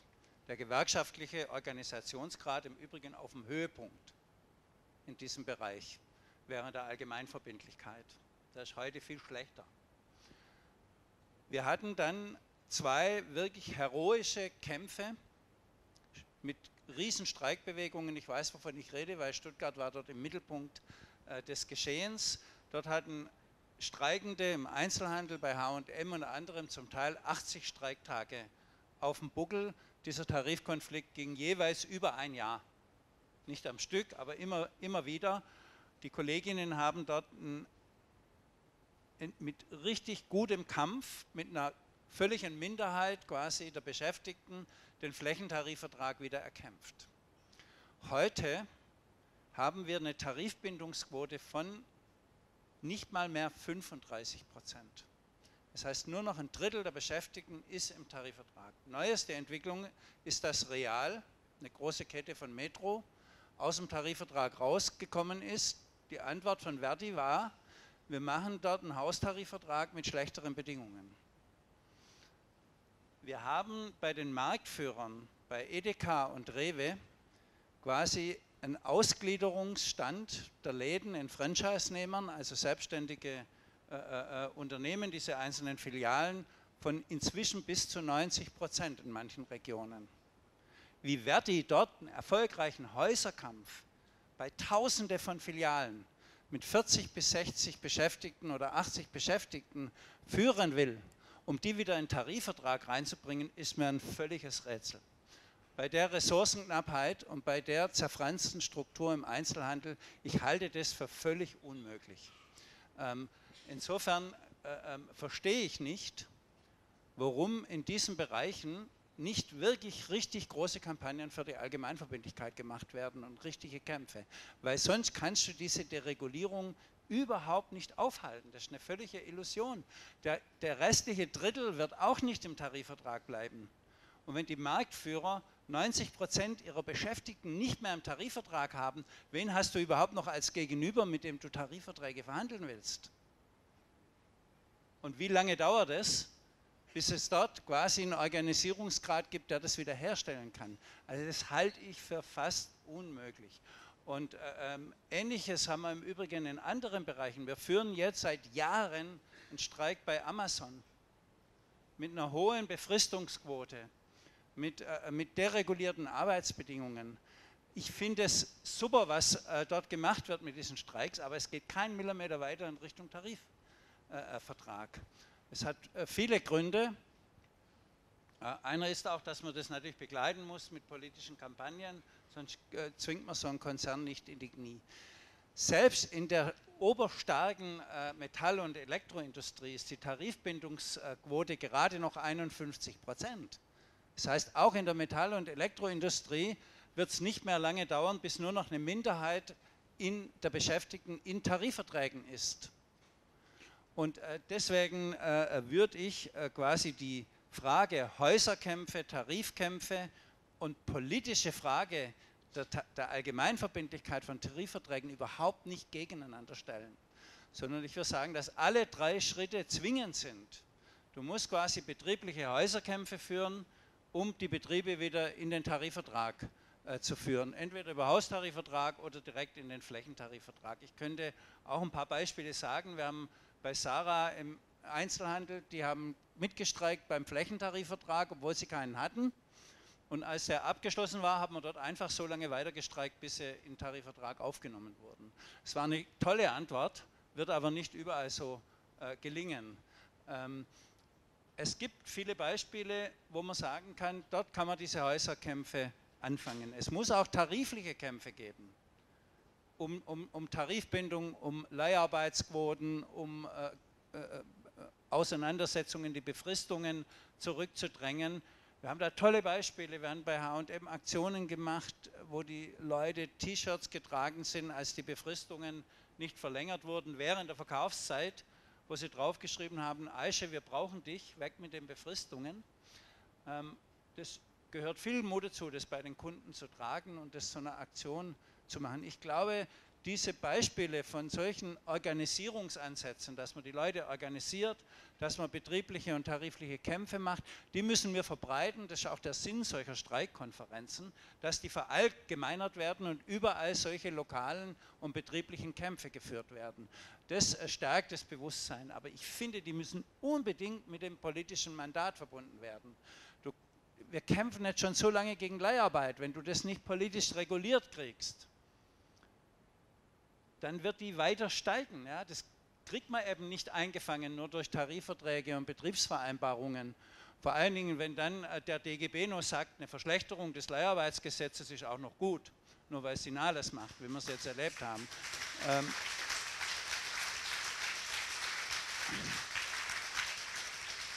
Deswegen, ich, ich, glaube, die Tarifbindungsfrage ist überhaupt eine Zukunftsfrage für die Gewerkschaften. Das brauche ich doch niemand erklären von der Gewerkschaft, wenn du keine Tarifverträge mehr abschließen kannst, mit was wirbst du denn noch für die Gewerkschaft? Und das ist doch äh, ähm, wirklich also eins der drängendsten Fragen. Und äh, letzter Punkt, man muss das nicht so gesetzlich regeln. Ich bin dafür, wir brauchen ein Gesetz, dass es ausreichend ist, wenn eine Tarifpartei die Allgemeinverbindlichkeit beantragt. Und dann kann die Gewerkschaft entscheiden, ob sie es beantragt oder nicht. Und wenn sie der Meinung ist, es ist gut, wenn ich es beantrage, dann soll sie es beantragen. Wenn sie der Meinung ist, sie kann das besser durchsetzen, ohne Allgemeinverbindlichkeit, soll sie es bleiben lassen. Aber ähm, du brauchst quasi einen politischen Rahmen und eine politische Regulierung, die dir ermöglicht, wieder Tarifverträge zu regeln machen. Und ich will nur an andere Länder verweisen. Wir haben in der Schweiz zum Beispiel kaum einen Niedriglohnsektor und ganz wenig prekäre Arbeit, weil es fast üblich ist, dass mit dem Abschluss von Tarifverträgen die für allgemeinverbindlich erklärt werden. Wir haben in den nordischen Ländern quasi bestimmte Leistungen an Tarifverträge gebunden und an die Gewerkschaftszugehörigkeit. Wenn du da nicht drin bist, kriegst du den Tarifvertrag nicht und kriegst keine Altersversorgung oder andere Zusatzangebote. Wenn du solche Sachen nicht durchsetzen kannst,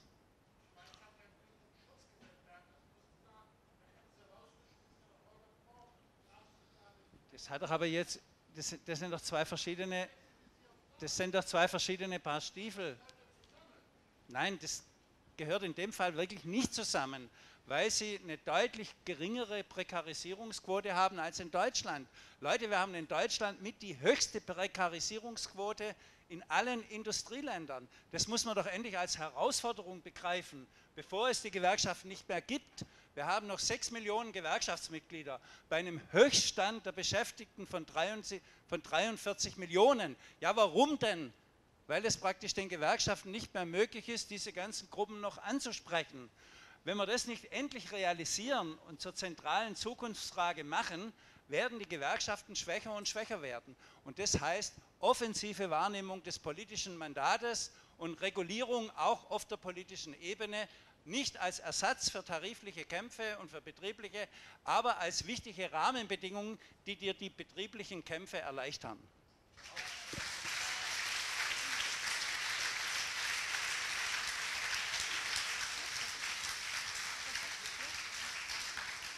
Matthias und ja, ich genau. streiten uns jetzt gerade um die Antwort, Bernd, äh, auf die Entgegnung. Ich darf ganz kurz und dann gebe ich es Matthias. ich würde sagen, ne, also ich finde, diese spannende Kontroverse, die sollten wir noch zumindest kurz noch mal ganz diskutieren kurz. und austragen. Auf jeden Fall, ja, ja genau, alle beide sollen noch mal ja. zu Wort kommen. Also, ähm, du, du hast ja in ganz vielen, was, was du sagst, äh, recht, Bernd, und das ist ja auch äh, ausgesprochen sympathisch. Äh, trotzdem, ich glaube nicht, dass das die Antwort sein wird. Die, also zunächst einmal, um, ein, um einen Tarifvertrag allgemeinverbindlich zu erklären, brauchen wir zunächst einmal. Und dann ist es so, wir haben ja auch nicht nur die tollsten Tarifverträge. Es gibt Tarifverträge, von denen wollen wir gar nicht, dass sie allgemeinverbindlich erklärt werden. Ja, was haben wir denn damit bitte schön erreicht? Nur das allgemein, damit haben wir der Prekarisierung überhaupt nicht, äh, keinen kein Vorschub geleistet. Und dann noch etwas, äh, es ist ja nur nicht so, dass es, äh, um das, äh, das, das zu Ende zu spinnen, dass wir in der Schweiz nicht das Problem des Rechtspopulismus hätten. Wenn wir es damit verhindern könnten, wäre es ja schön, können wir aber nicht. Weder in der Schweiz noch, noch haben wir die Möglichkeit, damit äh, in, in, in, Skandinavien, in Norwegen oder in Schweden, in Dänemark äh, das damit geschafft. Nein, es ist nicht so einfach. Und nochmal, ich glaube, eine allgemeinverbindliche Erklärung wird uns in dieser Frage nicht weiterhelfen. Auch wenn du sagst, äh, dass, dass, es, dass wir nur noch sechs Millionen Mitglieder haben, ja, da hast du recht, aber wir kriegen da doch nicht ein einziges Mitglied mehr. Ach, Bernd, das wäre, ich glaube, wenn dem so wäre, dann wäre, würden wir Gewerkschaften alle Hurra schreien und wären die Ersten, die das wirklich wollten, wenn das ein Mittel wäre. Wir haben doch Tarifverträge, wir haben doch Tarifverträge, die sind allgemein verbindlich. Wir haben sogar Manteltarifverträge, die allgemein verbindlich sind. Das heißt, die, die regeln die Zuschläge, die Menschen haben einen Anspruch auf die Zuschläge. Das bringt uns nicht ein einziges Mitglied mehr, mussten wir am Ende der Zeit feststellen. Das ist einfach so. Also Bernd, äh, Wäre es so einfach, wäre es wunderbar, aber das ist es eben nicht. Wir müssen das andersrum machen. Erstmal die Mitglieder erstmal organisieren und wenn wir das geschafft haben, dann regelt sich der ganze andere Kram von allein.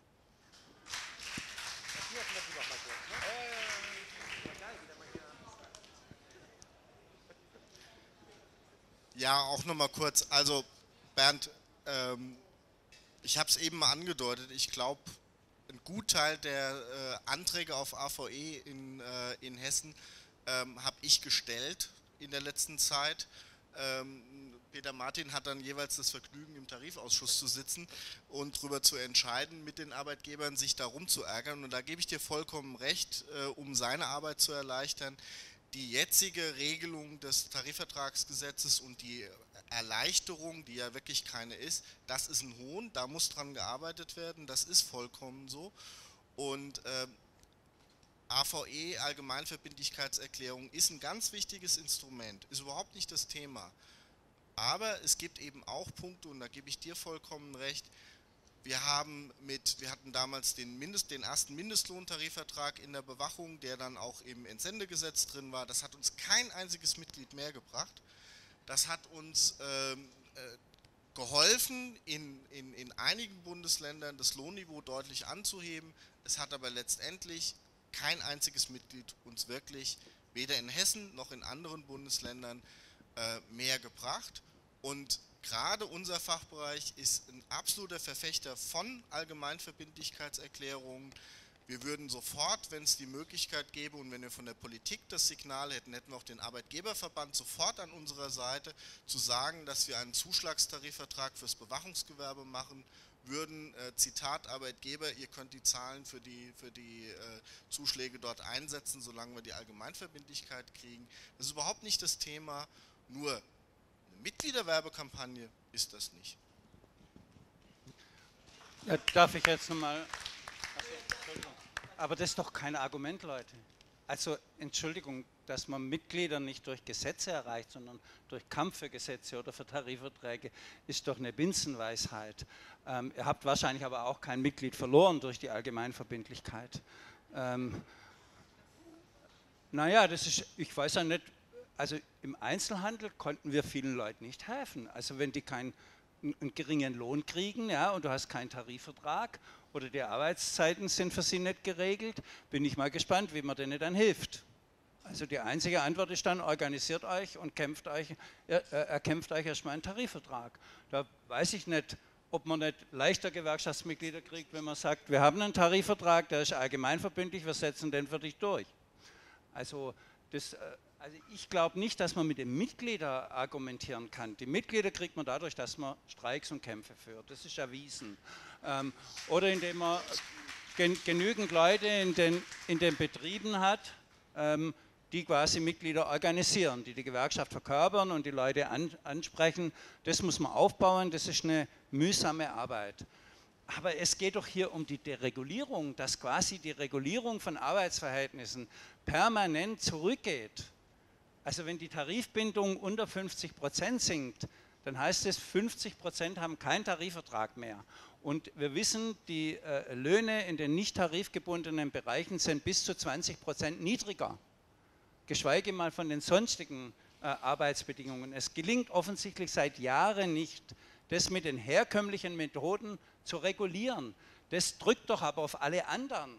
Also ist doch völlig klar, wenn du im Einzelhandel nur noch ein Drittel in einer Branche übrigens von zweieinhalb Millionen Beschäftigten, keine kleine, so groß wie die Automobilindustrie, hast du noch ein Drittel quasi im Tarifvertrag. Du kannst dir ausrechnen, wie lange das Drittel noch drin ist und wie, äh, wie, wie, lange quasi die, die Verdi in diesem Bereich überhaupt noch Tarifverträge machen kann.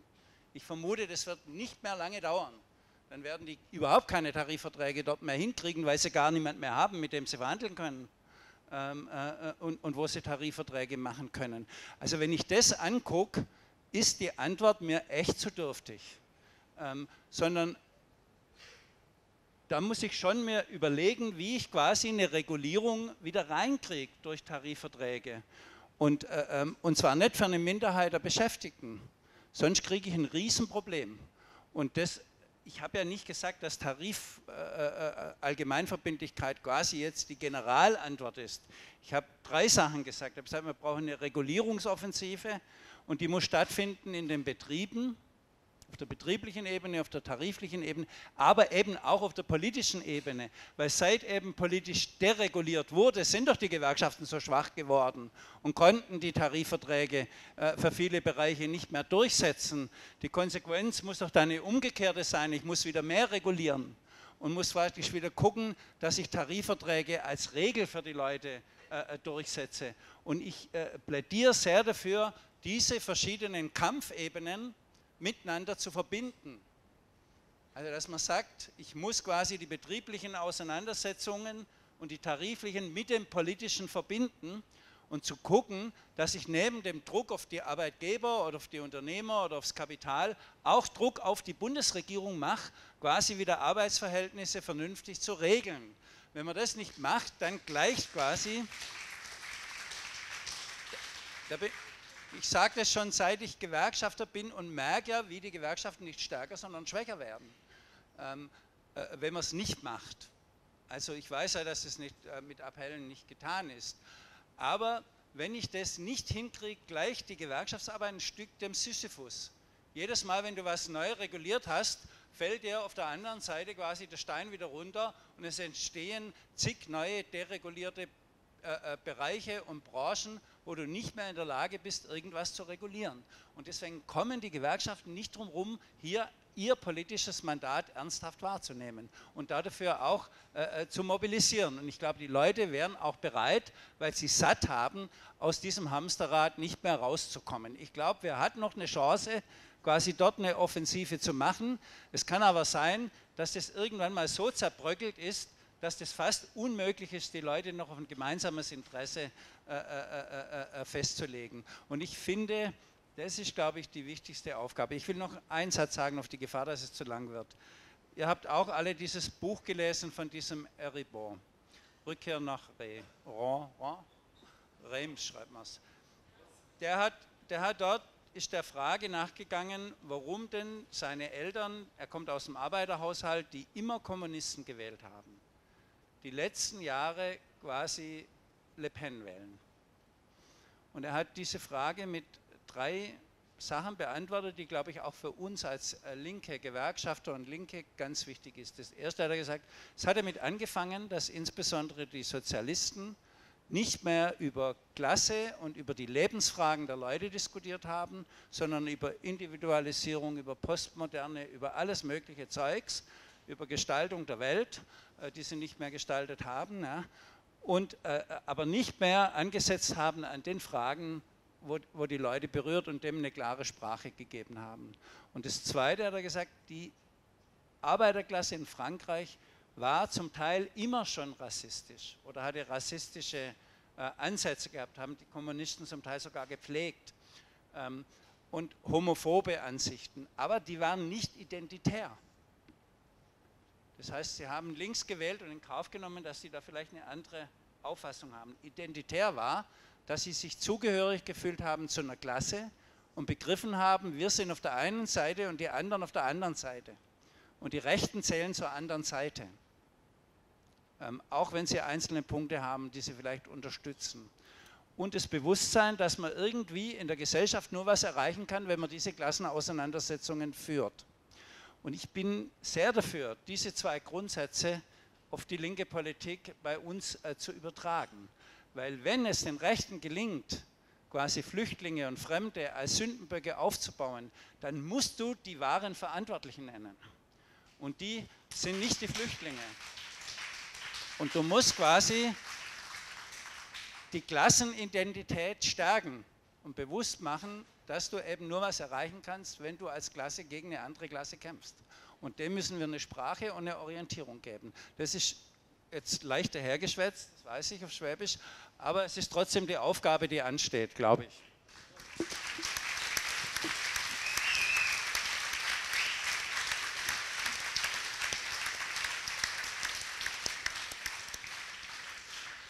Ja, vielen Dank, Michaela Rosenberger, Matthias Venema und Bernd Rixinger für diese spannende, am Schluss ja auch noch kontroverse Diskussion, die auch die nächsten Tage fortgeführt werden kann.